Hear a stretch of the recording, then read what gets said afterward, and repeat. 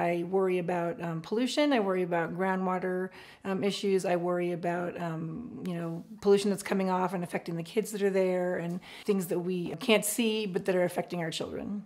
My son goes to school in Erie. My daughter did as well before she started kindergarten, and there was a fracking site close to their school, their daycare. And my daughter experienced nosebleeds while that was going on. She never had them before, she hasn't had them since, and I'm terrified.